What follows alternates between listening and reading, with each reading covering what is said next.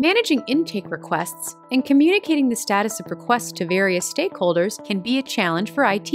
With Smartsheet for Jira, teams can use Smartsheet to collect, triage, and report on requests and work on those requests in Jira. Changes made to either system are automatically updated in real time. Let's look at how this works.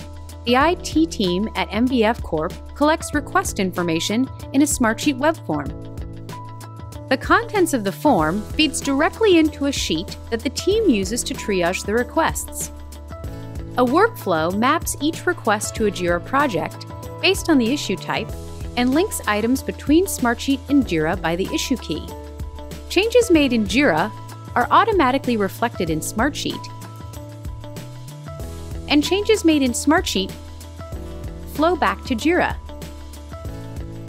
To facilitate reporting, the request sheet also includes formulas to calculate key performance metrics, such as average days to completion by team member, average days to first action by team, and more. This information is centralized into a Smartsheet site dashboard with data from other sheets to provide stakeholders high level visibility across projects. Contact us to learn more.